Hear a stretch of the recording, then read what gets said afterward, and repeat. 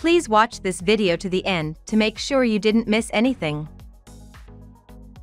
Jennifer Lopez showcased her stylish flair in a brown leather trench coat and a snug-fitting turtleneck during an outing in Los Angeles with one of her twin children, Emme. The 54-year-old entertainer, who shares Emme with ex-husband Marc Anthony, walked hand in hand with her child through Beverly Hills. The two were seen grabbing pizza and enjoying lunch while shopping. Lopez, who recently celebrated one year of marriage with Ben Affleck, wore a sleek ponytail and sported a full face of warm-toned makeup. She paired her brown leather jacket and shirt with wide-leg dark trousers, chunky gold hoop earrings, and tan-colored boots. Emme, who identifies as non-binary, rocked a shaggy haircut with a patch of purple color in the front, wearing a gray graphic Korn t-shirt and black cargo shorts.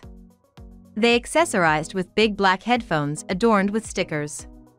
Notably absent from the outing was Jennifer's husband, Ben Affleck. Earlier in the week, the couple was spotted shopping together with both of their mothers at Maxfield in West Hollywood.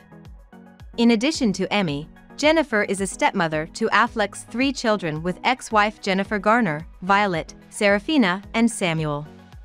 The blended family has been seen enjoying various outings and events together.